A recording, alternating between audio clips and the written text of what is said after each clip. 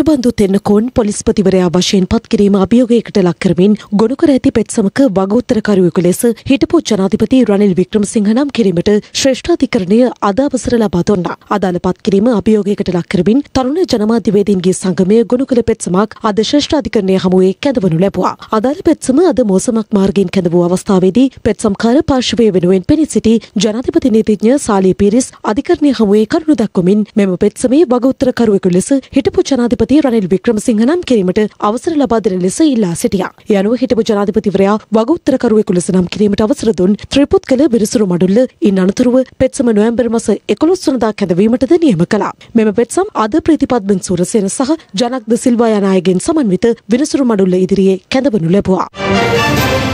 රටේ ලෝකෙ සිදුවන උණුසුම් පුවත් දැනගන්න සියත නිවස් YouTube channel එක අදම subscribe කරන්න.